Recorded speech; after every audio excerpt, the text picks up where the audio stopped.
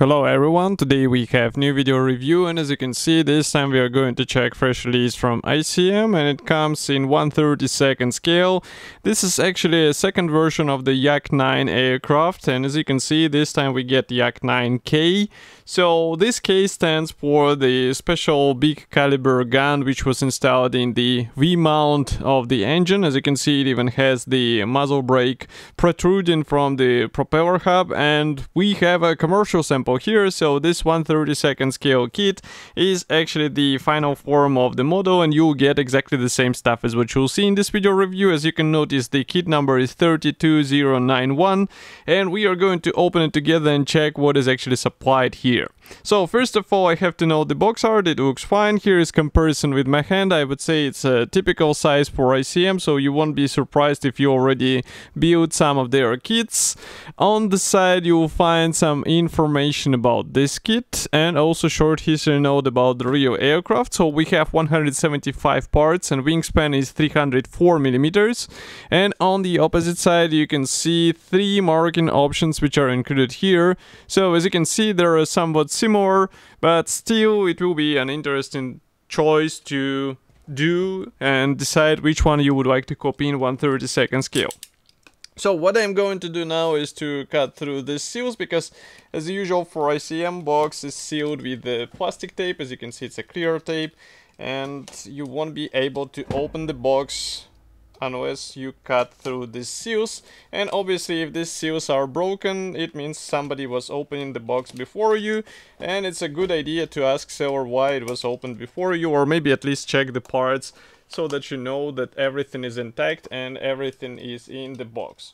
And of course, I can also remind you that you can support us with a small donation. It's quite easy thing to do because we have a special big red button on our website and it's done via PayPal or you can do it here straight on YouTube.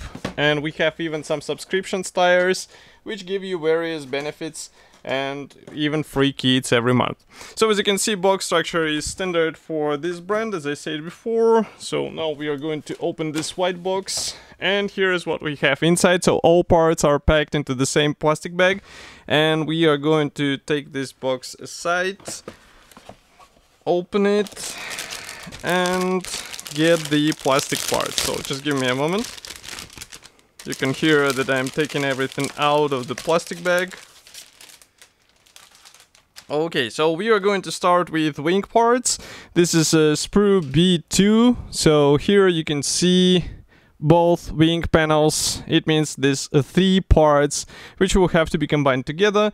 Note that ailerons are molded separately but flaps are molded in and if I zoom in even closer here you can see external features. So these are recessed panel lines. They're not that deep that's why you will have to be careful while joining or actually painting the parts because it will be uh, really easy to get it lost under layers of paint and primer. And if I zoom out here, you can check the parts from the opposite side. We have guiding pins on the wing edges, so it will be handy for the proper positioning of these parts together. Okay, and they're not small as you remember, so that's why it's handy. Next, we continue with the new parts. As far as I remember, it was not included in the previous release, so it's a sprue G. And here we have this special cannon, which is installed through the propeller hub. And note that this cannon should be glued out of two hulls. We have guiding elements inside, but I'm not sure about actually doing this let's say thing out of two halves at least the muzzle brake is molded as a single piece part so it means that you have a more or less let's say solid finish in this visible part or visible section of this gun. Next we continue with another thing. So here we have the sprue which is dedicated to some cockpit parts and also to some internal elements. So if I zoom out you understand what I'm talking about. And overall molding quality looks fine. I like that this uh, cockpit frame parts they're actually molded as a single piece parts. So it means it will be easier to combine them together. You don't have to play, spend some time trying to align all these bars together between each other. So it's just a matter of uh, taking these parts and installing them into the right spot. Of course, it would be a wise idea to use the plastic saw so that you won't damage the parts. Okay, next is the sprue E. So here we have mix of various parts. For example, landing gear legs are here, both three. all three and also we have some cockpit parts we have more for the parts for the landing gear we have exhaust stacks here and also some minor elements but molding quality is really fine so even these tiny parts if I zoom in here you can see comparison with my finger and they're really nicely molded without any flash or other possible molding damage so it's just a matter of uh, installing them into the cockpit. Of course it might be also a good idea to get some PE parts for the cockpit because I know that some aftermarket manufacturers already started producing their own sets for this model, so you can upgrade it. And next we continue with the fuselage halves. So I need to zoom out a bit more.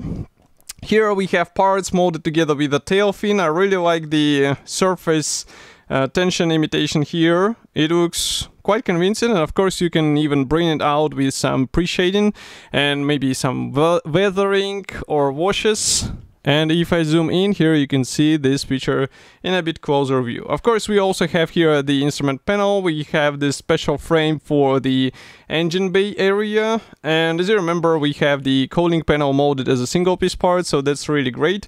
And if I flip it over here inside, we do not have that many features because as you remember, we have the cockpit subframes molded separately and they will be basically installed here. But we have the guiding pins. In my opinion, this is quite important because the size of these fuselage halves are is quite large and that's why it's better to have some, let's say, helpful elements which will be useful during the assembly.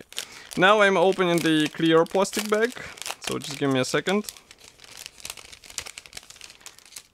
Here in this clear plastic bag, we have a transparent sprue and of course it carries all the necessary canopy parts and of course you can copy the open cockpit and as far as I remember previous release included the masks templates so I hope this one will not be an exclusion because it will be handy in such large scale and you won't have to spend your money trying to get the mask set.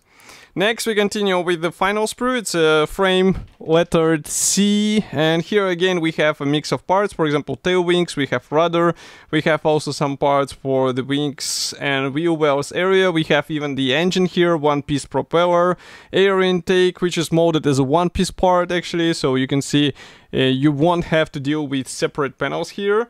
And also I can see the landing gear doors I'm not sure if you can actually assemble the aircraft with retracted landing gear, so you have to investigate it by yourself because manufacturer does not mention such assembly option, but obviously it should be, um, let's say, possible with some tweaks and also landing gear wheels. That's something what I would recommend to upgrade if you would like to get a nice finish because they look fine for out of the box build but maybe you would like to have more on your 132nd scale and in my opinion landing gear wheels is the upgrade which is always noticeable on 132nd scale so that's why it's worth the investment.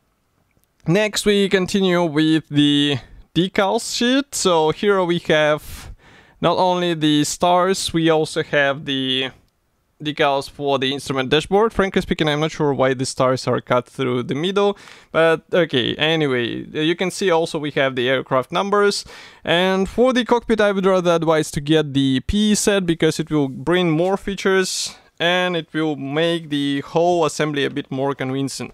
Next we continue with assembly manual, so this one is printed in form of large cover printed brochure, you can see that we have a short history note on the first page.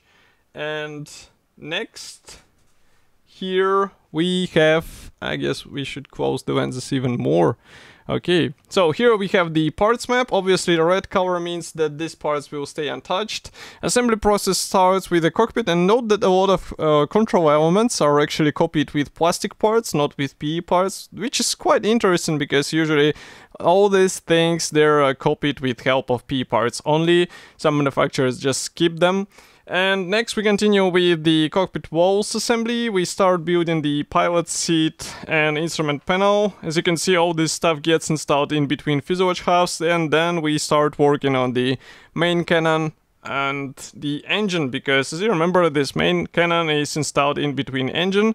So here you have the steps for the closed bonnet and it means that you do not have to paint these parts and here we have the steps for the open bonnet because here you have to use a bit more parts and maybe it would be a wise idea to copy some wiring as well because as far as I remember it's visible on the open top version and next we continue with various target sight and other cockpit add-ons. Here we install the meshes, so radiator meshes in the air intake, then we continue with canopy parts.